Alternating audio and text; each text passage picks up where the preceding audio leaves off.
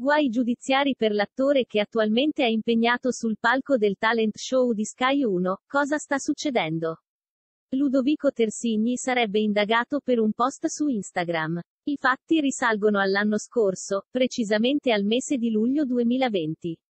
Le discoteche avevano riaperto, per un breve tempo, e lui si era recato in un locale a Marina di Ravenna. Il conduttore di X Factor dopo una serata andata non bene si era sfogato sui social, ma il suo post è stato ritenuto diffamatorio dal titolare della discoteca, il Matilda Disco Touché. Tersigni si era pronunciato male sul locale e aveva più rinvitato i suoi follower a boicottarlo, a non frequentarlo. A riportare la notizia è stato il resto del Carlino. C'era stato un tentativo di chiarimento sui social, ma andata non a buon fine visto che è arrivata una querela depositata in procura.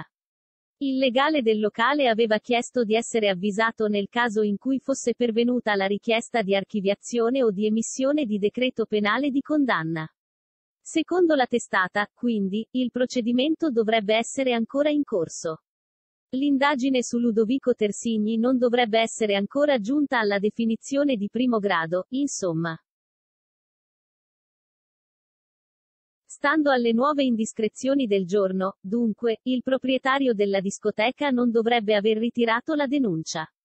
Né ci sarebbe stata la richiesta di archiviazione. Sarebbe potuto accadere visto che Ludovico Tersigni aveva rimosso il post da Instagram, anche molto presto ma comunque tardi perché circa 100 persone lo avevano già visualizzato. Era il 31 luglio 2020 quando tutto è successo, dopo la serata Tersigni aveva parlato di aggressione verbale e fisica al termine di una serata già andata molto male. E ancora lo aveva definito un posto vampiro, invitando tutti a boicottare tale discoteca. Lui, almeno, non ci sarebbe più andato, aveva scritto. In un secondo momento però Ludovico Tersigni era tornato sui suoi passi spiegando di non voler infangare un locale che cercava di risollevarsi dopo la chiusura per il Covid.